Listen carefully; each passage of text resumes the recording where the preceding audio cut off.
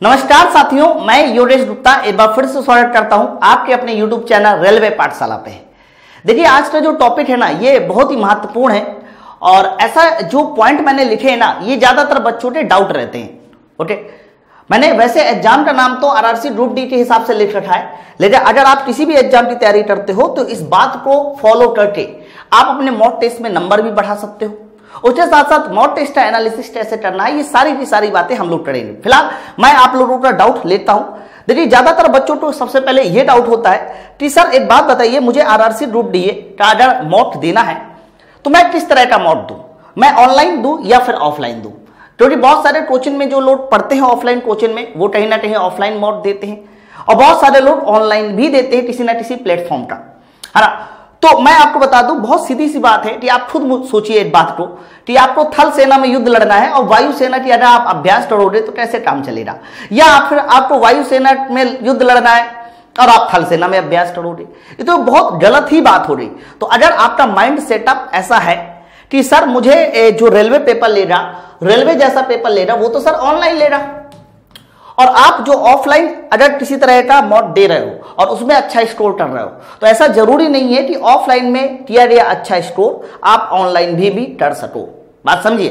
तो अगर आपको अपना एग्ज़ाम जो ओरिजिनल एग्ज़ाम है, वो आपको ऑनलाइन देना है तो मेरी बात मानिए, आपको ऑनलाइन ही मॉड देना चाहिए। तो अगर आप लोग अभी तक ग्रुप डी का ऑफलाइन मॉड देते हो तो मॉड देना बंद कर दीजिए टोटली बंद कर दीजिए। इवन मैं तो कहूँगा बिल्कुल भी मत दीजिए। अगर आपका पेपर ऑनलाइन है तो सबसे पहले आपको ऑनलाइन मॉड को चुनना है, ठीक है? अब बहुत अच्छी अच्छी कंपनियाँ हैं, हम लोग भी मॉड प्रोवाइड करते हैं, आप किसी का भी लीजिए, वो डजन मैटर उसका कोई वो इश्यू नहीं है। लेकिन फ़िलहाल बस ये ध्यान रखिएगा आपको मॉक ऑनलाइन देना चाहिए। दूसरी बात मैं आपको बताऊँ, एक दिन में आपको कितने मॉड देने चाहिए? ये भी एक बड़ा कॉमन सा सवाल है। और दूसरी बात यह है कि एक दिन में जब मौत देते हो तो मौत देने के साथ साथ आप लोग किन किन बातों का ध्यान रखिए। देखिए, होता क्या है ना कि आजकल के जितने भी बच्चे जब किसी भी तरह का कह सकते हो प्रैक्टिस सेट या मॉक टेस्ट देते हैं तो वो लोगों के अंदर एक कमी आती है कि वो लोग चाय पीते पीते खाना खाते खाते भी मौत देते ऐसे मोबाइल चला लिया, चलो चल रहा पहला क्वेश्चन बन जाएगा, चलो ठीक है, दूसरा बन जाएगा। आधा दिया, आधे देने के बाद छोड़ दिया। है? या फिर आधा देने के बाद जल्दी जल्दी आंसर भर दिया। कृपया करके अगर ऐसा दे रहे हैं, जो मुझे फॉलो करते हैं, मैं उन्हीं के लिए बात बता रहा हूँ।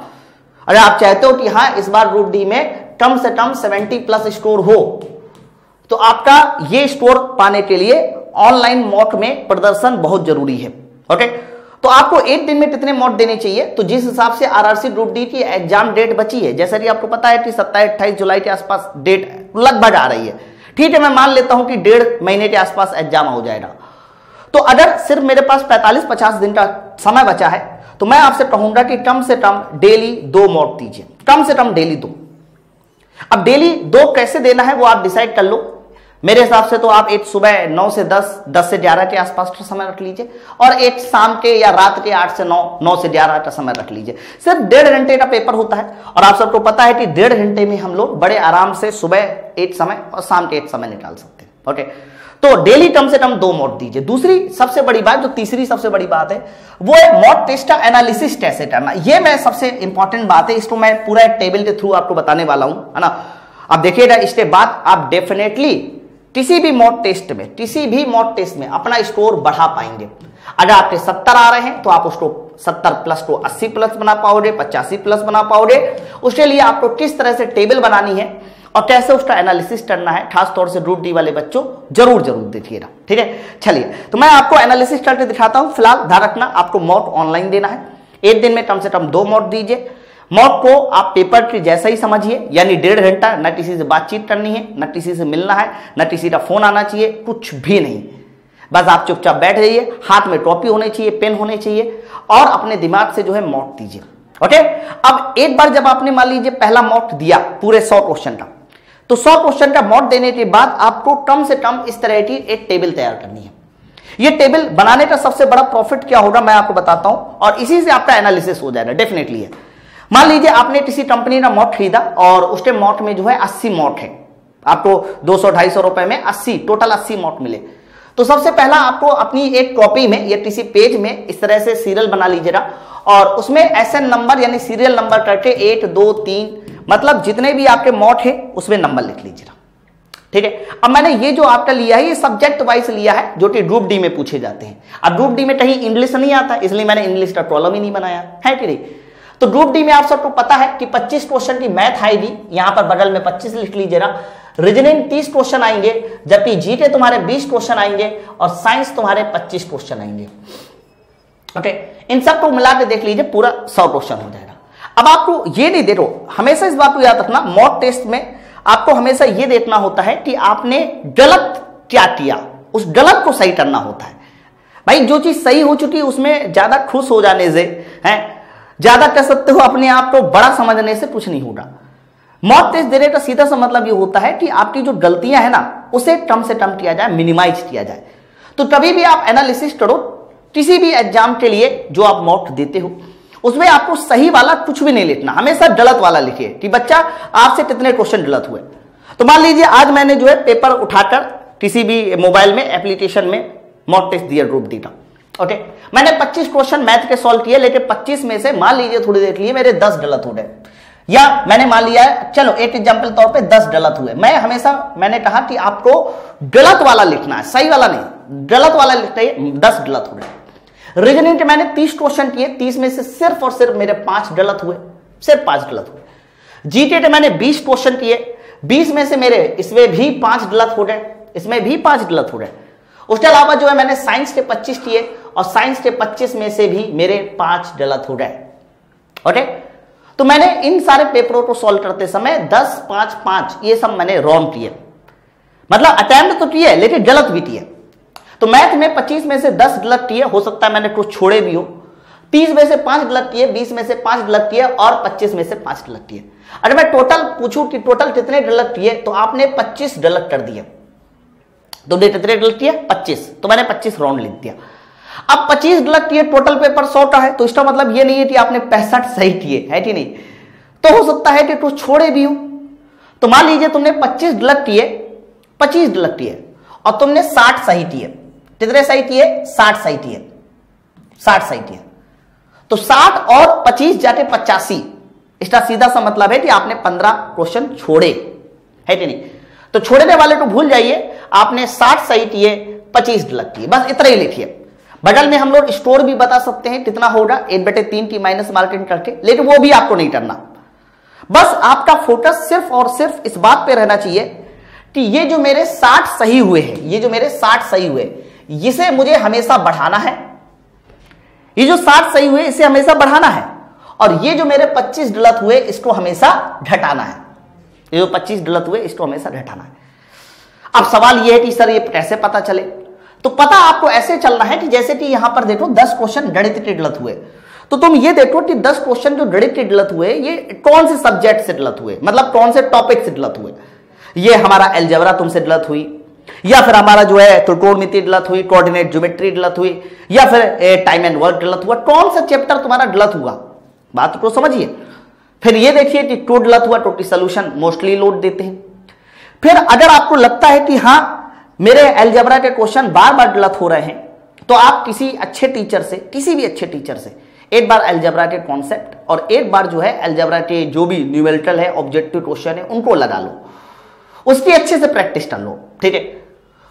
ओके तो हो सकता है कि ये दस क्वेश्चन एल्जबरा के ही नहीं, और भी दो चार टॉपिक के गलत हुए एल्जबरा के गलत हुए, इसी तरह से आपके त्रिकोणमिति गलत हुए, इसी तरह से आपके टाइम एंड वर्क के गलत हुए। तो आप उन दो टॉपिक को दो तीन टॉपिक को अच्छे से एक बार पढ़ लो। कॉन्सेप्ट लगा लो। और ये काम आपको मेरे हिसाब से उसी दिन करना है। उसी दिन का मतलब ये है कि आपने सुबह पेपर दिया, दोपहर के दो चार घंटों में ये काम हो जाना चाहिए ओके सेम तरीके से रीजनिंग में भी आप देखिए कि पाँच क्वेश्चन गलत हुए तो कहाँ से गलत हुए? और क्यों गलत हुए? अगर आपको लगता है कि इंप्रूवमेंट की ज़रूरत है तो इस पर भी इंप्रूवमेंट कीजिए। टॉपिक का नाम ज़रूर आप लोग लिख लीजिएगा। और टॉपिक का नाम आप चाहो तो यहाँ साइड में भी लिख सकते हो प्रॉब्लम थोड़ा सा बड़ा बना लीजिएगा। है? टॉपिक का नाम यहाँ पर गलत बना लीजिएगा मान लीजिए पाँच क्वेश्चन जो तुम्हारे गलत हुए हैं, वो कोडिन डिकोडिन से गलत हुए। हरा तो आप छोटा सा कोडिन डिकोडिन लिख लेना सर गलत हुए। उसे क्या होगा कि याद हो जाएगा कि हाँ इस बार ये क्वेश्चन गलत हुए थे। सेम तरीके से आप देखिए जीटे के कौन से क्वेश्चन गलत हुए। सेम तरीके से देखिए कि आप साइंस के कौन से क्वेश्चन गलत किए। इस तरीके से उन सारे टॉपिक को इंप्रूव कीजिए। फिर अगले दिन हो सकता है आप दूसरा मॉक दें, अगले दिन दे या उसी शाम को दे। तो उसी शाम को भी देखिएगा, जब आप मैथ का पेपर देंगे बच्चा तो इस बार आपके मैथ में से दस गलत नहीं होंगे। मैं लिख के दे सकता हूँ। इस बार आपके मैथ में दस गलत नहीं होंगे। वो अलग बात है पेपर बहुत टफ आ गया तो ठीक है, लेकिन अगर उसी लेवल का पेपर आया तो उसी लेवल में पेपर में दस गलत नहीं होंगे। ठीक है? तो इस बार तुम्हारे, मान लीजिए, आठ गलत हुए मैथ में। इस बार रीजनिंग में तुम्हारे चार गलत हुए। इस बार जीके में, मान लीजिए, फिर भी तुम्हारे पाँच गलत हुए। इस बार साइंस में तुम्हारे तीन गलत हुए। तो ऑटोमेटिक ये जो गलतियाँ है ना, ये अगले वाले मॉट में, ये कम हो जाएगी और कम आपकी गलतियाँ तभी हो पाएगी जब आप पिछले मॉट में किए गए गलतियों को सुधारोगे। ये बहुत बड़ी लाइन है कि जब आप पिछले मॉट में किए गए गलतियों को सुधारोगे, तभी अगले मॉट में गलतियाँ कम होगी। अब थोड़ा जोड़ लो ना, आठ, चार, बारह। बारह, तीन, पंद्रह, पाँच, बीस। बच्चा, इस बार तुम्हारे सिर्फ़ बीस गलत हुए। सिर्फ़ और सिर्फ़ बीस गलत हुए इस बार। और इस बार तुम्हारे सत्तर सही गए। वाह भाई वाह। गलतियाँ कम हो गई और जो तुम्हारा सही था वो बढ़ गया। सेम तरीके से आप इसको करते रहिए, देखते रहिए देखते रहिए देखते रहिए ओके और देखते रहने के साथ ये तो ये काउंट कर लो। और फिर चाहे तो नंबर भी काउंट कर लो। नंबर कैसे काउंट करना मैं आपको बताऊँ? जैसे कि मान लीजिए आपके सत्तर तुम्हारे सही हुए तो सत्तर में एक का मल्टीप्लाई कर दो तो सत्तर में एक का मल्टीप्लाई करोगे सत्तर। और बीस तुम्हारे गलत हुए तो बीस में तीन का डिवाइड कर दो। तो बीस में जब तीन का डिवाइड करेंगे तो छह दशमलव कितना आ जाएगा? छह छह। तो आप इसमें से छह दशमलव छह छह को घटा दो। छह दशमलव छह छह को घटा दो। बोलो अच्छा तो सत्तर में से अगर छह घटाया जा रहा है, चौसठ, यानी तिरसठ दशमलव तीन तीन, छह, ये स्टोर आ गया। तो ये दूसरे वाले टेस्ट स्टोर आया, आप उसको बर्डल में लिख लीजिए, ऐसे स्टोर भी लिख लीजिए। तो आपको स्टोर का भी आइडिया रहेगा कि हाँ स्टोर मेरा कितना बढ़ रहा है, कितना घट रहा है। तो आप समझ पा रहे हो ना, ये टेबल बनाना कितना ज़्यादा ज़रूरी है। आप अगर ऐसा कर रहे हो कि टेबल को नहीं बना पा रहे हो या बना ही नहीं रहे हो तो भाई साहब बहुत बड़ी गलती कर रहे हैं। फिर मौत देना ना देना आपका पूरी तरीके से बेकार है। हाँ बिल्कुल बेकार है। आप टेबल बनाइए, उससे एनालिसिस कीजिए कि कौन से टॉपिक आपसे गलत हो रहे हैं, कौन से सही हो रहे हैं। है ना? अब रही बात कि, सर मॉट कहाँ से लिया जाए? तो मैं आपको बता दूँ, अगर आप चाहो तो वैसे हम लोग भी अच्छे मॉट देते हैं, मैंने पहले ही बता रखा है।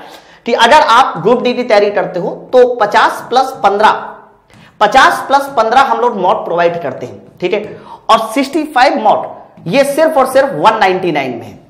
और 199 में सिर्फ़ 65 मॉट नहीं है, उसके साथ साथ 1100 क्वेश्चन साइंस की एक्सपेक्टेड भी है। मतलब साइंस के एक्सपेक्टेड 1100 क्वेश्चन की एक पीडीएफ भी है। तो साइंस के 1100 क्वेश्चन की एक्सपेक्टेड पीडीएफ ये 1100 में क्यों लिख रहा हूँ? क्योंकि इसमें से 100 क्वेश्चन सिर्फ़ और सिर्फ़ न्यूमेरिकल की पीडीएफ है। जो एक्सपेक्टेड है, जो एक्सपेक्टेड है। बाकी एक हज़ार क्वेश्चन थ्योरी बोलो, बच्चा क्लियर है? अच्छा थ्योरी में भी थोड़ा थोड़ा न्यूमेरिकल है। तो एक सौ निन्यानवे रुपए में आप ये साइंस के ग्यारह सौ क्वेश्चन की पीडीएफ ले सकते हो। और प्लस पचास प्लस पंद्रह मॉट अब तो पचास प्लस पंद्रह की क्या लकड़ी है, सर? मैं लकड़ी बताता हूँ।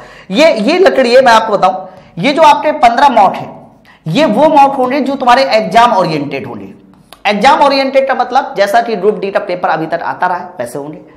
बाकी मैंने हमेशा एक चीज़ ऑब्ज़र्व की है, और वो ये चीज़ ऑब्ज़र्व की है कि जैसा हम लोग तैयारी करते हैं तो कई बार पेपर उससे कठिन आ जाता है, जिसकी वजह से हम लोग अच्छा स्कोर नहीं कर पाते। तो इसलिए मैंने सोचा कि इस बार हम लोग पंद्रह ऐसे मॉक भी बनाएँगे, जिनका स्टैंडर्ड ग्रुप डी के स्टैंडर्ड से थोड़ा सा ज़्यादा होगा। थोड़ा सा ज़्यादा होगा। मतलब अगर आपका जैसा पेपर सालों साल से आता रहा है तो आपके ये पचास मॉक काउंट करेंगे। और अगर ग्रुप डी का पेपर इस बार जो है थोड़ा सा स्टैंडर्ड आ गया, कठिन आ गया, जैसा कि हर बार देखने को मिलता है मोस्टली लो रोड के साथ तो ये फिर हमारे पंद्रह मॉक काम करेंगे। तो ये टोटल 65 मॉक और साइंस के 1100 क्वेश्चन की पीडीएफ सिर्फ़ और सिर्फ़ एक सौ निन्यानवे रुपए में अगर आप इसको परचेज करना चाहते हैं, लेना चाहते हैं, है ना? बहुत बहुत ही माइन्यूट दाम है तो आप नीचे दिए गए नंबर पे आप कॉल भी कर सकते हैं या फिर पर्सनली आप पर्सनली मुझसे कांटेक्ट कर सकते हैं। ये मेरा पर्सनली नंबर है और मैं यूट्यूब पर इसलिए बस देता हूँ ताकि जितने भी बच्चे ग्रुप डी की तैयारी कर रहे हैं, उन सारे बच्चे होता क्या ना, वो सब थोड़ा सा गरीब फैमिली से आते हैं। ये बात सही है ना? चाहे वो उत्तर प्रदेश हो, बिहार हो, झारखंड हो, यहाँ से ज़्यादा आते हैं। तो मैं नहीं चाहता कि किसी की भी तैयारी, किसी भी वजह से रोके। मैं ये चाहता हूँ कि अगर कोई बच्चा मेरे से बात करके अपने आप को अच्छा मोटिवेट कर सकता है, कुछ डाउट दूर कर सकता है, या फिर जो क्वेश्चन साइंस के नहीं बनते, वो मुझे भेज कर उसका सोल्यूशन पा सकता है। तो मैंने अगर कुछ बच्चों का भी सोल्यूशन इस तरीके से दे दिया तो सही बात हूँ तो मुझे बहुत बड़ी खुशी होती है कि हाँ मैंने इस बच्चे का सोल्यूशन दिया क्वेश्चन का। ओके तो आप सब लोग इस नंबर पर कॉल करके इन सब चीज़ों को ले सकते हैं, बड़े आराम से। साथ साथ आप इससे मेरे पर्सनल कांटेक्ट में भी रहेंगे। किसी भी तरह का कोई भी डाउट किसी भी तरह की कोई भी अपडेट किसी भी तरह की कोई भी क्लास हर चीज़ आपको जो भी सजेशन है वो आप इस नंबर पर ले सकते हैं, ठीक है? तो वीडियो कैसा लगा, आज से आप लोगों को यही काम करना है। ये 65 फाइव मॉट मैंने दिए। मॉड देने के बाद आपको इस तरीके से चार्ट बनाना है। और चार्ट बनाने के साथ बच्चा, इस तरह से आपको एनालिसिस करना है। तभी मॉट देने का फ़ायदा, क्योंकि बहुत सारे लोग ये 65 मॉट ले चुके हैं। मैं देखता हूँ डेली मेरे पास कम से कम ढेर सारे फ़ोन आते हैं। इसमें कम से कम मैंने पिछले दस दिनों में ना हो रहा तो 500 500 प्लस बच्चों को। ये हमारे कह सकते और पीडीएफ को दिया है। डेली कुछ ना कुछ फ़ोन आते हैं ओके तो आप जाइए, लीजिए और इसको एंजॉय कीजिए। बहुत ही अच्छा कंटेंट है। ये वो कंटेंट है जो ग्रुप टी में आपका सिलेक्शन 100 परसेंट का आएगा। ठीक है? चलिए, बहुत बहुत धन्यवाद। कमेंट करके ज़रूर बताइएगा कि ये जो मैंने आपको स्ट्रेटजी बताई, ये जो मैंने आपकी कला बताई इस कला को आप अपनाइए और देखिएगा सिर्फ़ और सिर्फ़ एक हफ़्ते में आपको प्रॉफिट होगा। ठीक है? चलिए बहुत बहुत धन्यवाद दोस्त।